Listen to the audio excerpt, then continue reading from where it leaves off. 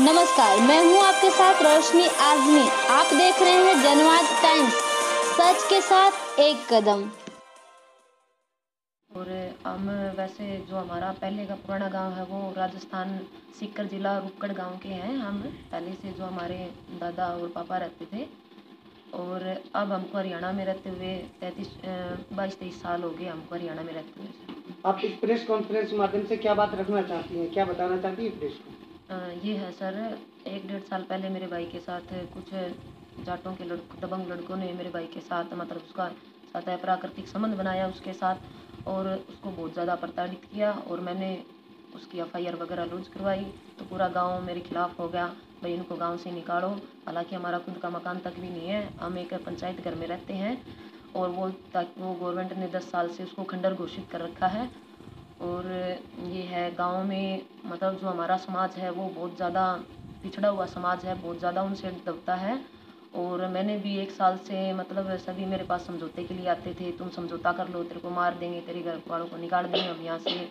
तो मैंने कोई समझौता नहीं किया। मैं ये चाहती थी, आज मेरे भाई के साथ हुआ है, कल को किसी और भाई के साथ भी ऐसा होगा। इसलिए मैंने आवाज़ उठाई, अपने पूरे परिवार, अपनी बुरादरी जो भी है, मामा, ताऊ, चाचा जो है, मैं उनसे ऊपर होके इस कार्रवाई को आगे बढ़ा रही हूँ और उन लोगों की दबंगता के कारण अब दिवाली वाले दिन मेरा भाई सुसाइड कर चुका कि वो समझौता का, भाई आप समझौता नहीं करोगे। तो वो, क्योंकि वो बच्चा था, नादान था, वो इस चीज़ को सहन नहीं कर पाया क्योंकि वो हमेशा उसको दबाते रहते थे उसको कहते थे, अगर तू तेरी सिस्टर के साथ, तेरी सिस्टर को लेके नहीं आया तो हम उसको घर से उठा के ले जाएँगे।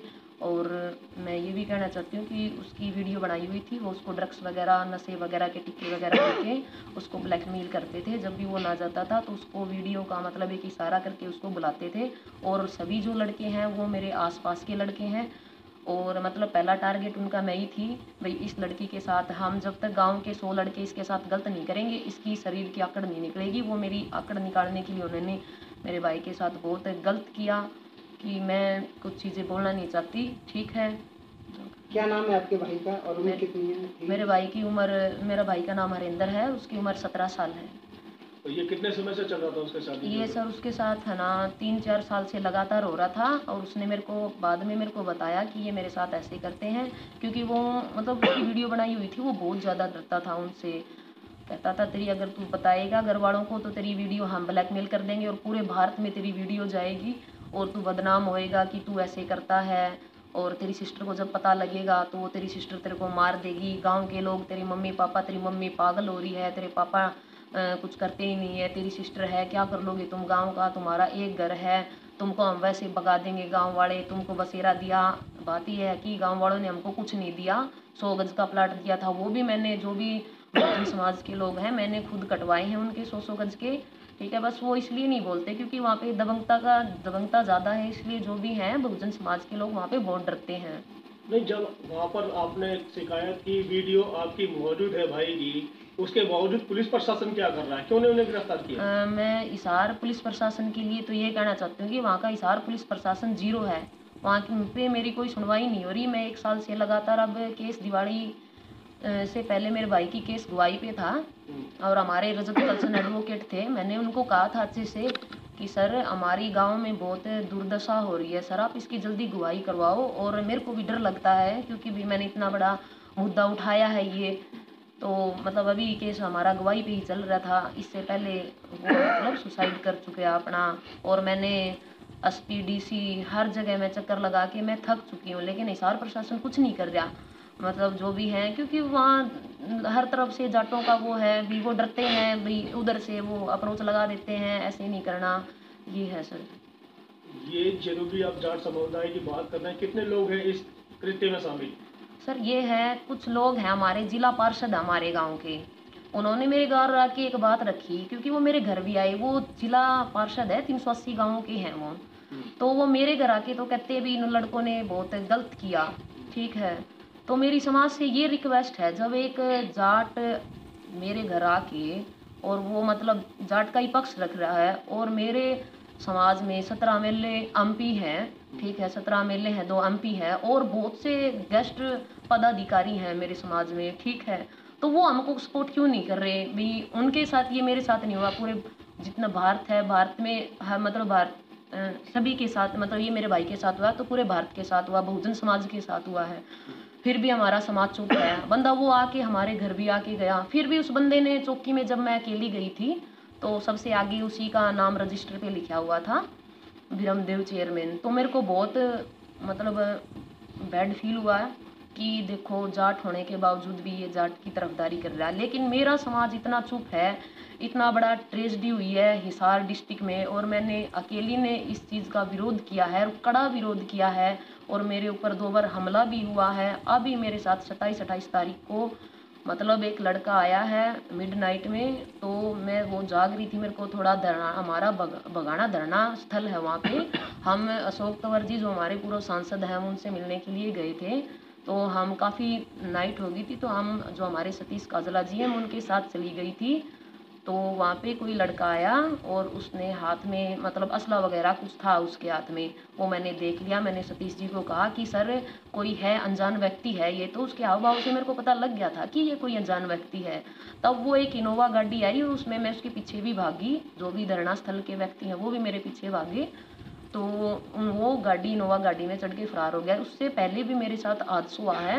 मेरे गाँव गाड़ी आप बता रहे हो उसका कोई नंबर वगैरह नोट कर पाए नहीं सर वो अ, मतलब धूमर ज़्यादा थी तो कुछ दिखाई नहीं दिया मेरे को। हमने कोशिश पूरी की है लेकिन हमको कुछ पता नहीं लगा और मैंने महिला थाना में इसकी शिकायत भी दर्ज कराई है लेकिन कोई रिस्पॉन्स नहीं आया।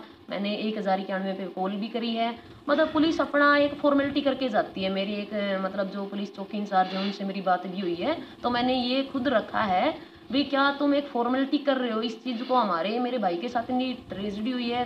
क्योंकि जब डीसी महोदय ही कुछ नहीं कर रहे हैं तो वो तो मतलब छोटी मोटी चीज़ है वो कैसे करेंगे कुछ? डीसी से कौन है? हमारे अभी अशोक मीणा जी थे अभी वो चले गए हैं अभी प्रियंका सोनी प्रियंका सोनी है अभी आए हैं वो नए। एसपी है वो तो मतलब उनके मतलब उनकी बात जब भी मैं जाती हूँ वो मेरे को मतलब कभी मेरे को रिस्पॉन्स नहीं देते कभी भी। डीएसपी हैं वो हमारे समाज से हैं अशोक कुमार हैं। ठीक है मतलब वो भी ऐसे टाल देते हैं, क्योंकि पता है, क्योंकि इनके ऊपर भी दबाव बहुत ज़्यादा है। ठीक है, ये भी कुछ नहीं करते। और रहे एम मंत्री तो मतलब मिले हैं, काफ़ी लोगों से मिले हैं मतलब बात को एक इग्नोर कर देते हैं। जब वोटों की बात आते हैं, तब तो बहुजन समाज के घर घर जाते हैं, हम ऐसे करेंगे, वैसे करेंगे। जब इनको हिसार डिस्ट्रिक्ट में इतनी बड़ी ट्रेजडी हुई है तो वो इनको नज़र नहीं आ रही तो ऐसे तो मर जाएगा पूरा बहुजन समाज है। और कहते हैं, संगठन हज़ारों बने हुए हैं हमारे समाज में। कहते हमारी लड़कियाँ समाज की आगे नहीं आती। अरे मैं आगे हुई, आई हुई हूँ तो मेरे को कौन सा संगठन सहयोग कर रहा है? मैं जब मेरे भाई की डेथ हुई थी, तीन दिन धरना, हमने पाँच दिन दाह संस्कार किया था बॉडी का, तब भीम आर्मी से कुछ लोग आए थे मतलब और भी संगठन। उसके बाद तो उन्होंने मेरी स्थिति तक भी मेरे गाँव में जाके भी नहीं देखा कि तुम्हारी कैसी स्थिति है और तुम कैसे माहौल में रह रहे हो। क्या दो दिन आने से काम चल गया मेरा? तो ये है समाज दो दिन आता है हफड़ा तपड़ी मचाता है सब लोग राजनीति के चक्कर में रहते हैं ठीक है भाई इन मैं राजनीति करूँ। ठीक है राजनीति करो लेकिन एक समाज में जो हो रहा है उसको भी तो सहयोग करो ना। मैं तो एक लड़की हूँ मैंने इतना बड़ा विरोध किया है गाँव में पूरा गाँव मेरे खिलाफ है। मम्मी मेरी मेंटली डिस्टर्ब है मेरे छोटे छोटे बहन भाई है। ठीक है फिर अब कहाँ गया? अब समाज वो कहाँ गया? तो क्या आपको डर लगता है कि नहीं मेरे हाँ बोलो सर। जिस मेरे- तरीके से आप कदम उठा रहे हो? आपको डर तो लगता ही होगा कि कभी भी कुछ भी हो सकता है। नहीं सर, मेरे को कोई डर नहीं लगता और मैंने कोई गलत काम नहीं किया। मैं अपने भाई के लिए नहीं कर रही, मैं पूरे समाज के लिए, एक समाज के लिए मैं ये दिखाना चाहती हूँ कि हम इन, हम इनसे डरे। हम क्यों डर रहे हैं? जब हमारे साथ ही ये लोग गलत कर रहे हैं और हम ही इनसे डरेंगे, ये कहाँ का इंसाफ है भी हम क्यों डर इनसे? हमने कोई गलत थोड़ी किया है? हमने कोई गलत नहीं किया। पुलिस प्रशासन सुन लेकिन हम तो अपना कर, करते हुए करते रहे क्योंकि बाबा साहेब का मेरे को समाज सहयोग करे या ना करे बाबा साहेब का संविधान है जब तक मैं लड़ जब तक मेरे को जितनी नॉलेज है जितना मैं कर रही हूँ मैं ठीक कर रही हूँ मेरे को समाज सहयोग करे या ना करे ठीक है मैंने सभी से अपील भी की काफ़ी समाज जो है मतलब हमारे M P M L A हैं उनसे भी हमने ये बात रखी है। जब उनको दिखता ही नहीं है भी शहर में इतनी बड़ी ट्रेजडी है तो वो क्यों नहीं दिख रहा उनको? कि देखना चाहिए उनको सहयोग करना चाहिए। आज अब वो मेरे को सहयोग नहीं करेंगे तो मरने के बाद मेरा कैंडल मार्च निकाले चाहे वो कुछ भी निकाले उस चीज़ का कोई फ़ायदा नहीं है। तो अपने जितने भी एमपी एमएलए पार्षद हैं उनको आप क्या बोलना चाहेंगे? मैं उनको यही बोलना चाहती हूँ कि आज मेरे साथ ट्रेजिडी हुई है मेरे भाई के साथ कल को मेरे साथ भी होगी। और आने वाले टाइम में वो घर घर जो भी घर घर में बंदे हर किसी के साथ होएगी। अगर इन बंदों ने हमारा सहयोग नहीं किया तो मतलब जो आम व्यक्ति है, जो मतलब झाड़ी मजदूरी वाले बंदे हैं, वो कैसे कोऑपरेट करेंगे? उनकी तो कोई सुनता ही नहीं है। आज मैं एक मजदूर की लड़की हूँ मेरी कोई सुनता ही नहीं है। तो उन एम एल मंत्री की सुनते, हमारी तो कोई सुनता ही नहीं है। हम तो धक्के खा के आ जाते हैं वहाँ से। जनवाद टाइम्स की सभी खबरों को लगातार देखने के लिए चैनल को लाइक, सब्सक्राइब और शेयर ज़रूर करें। धन्यवाद।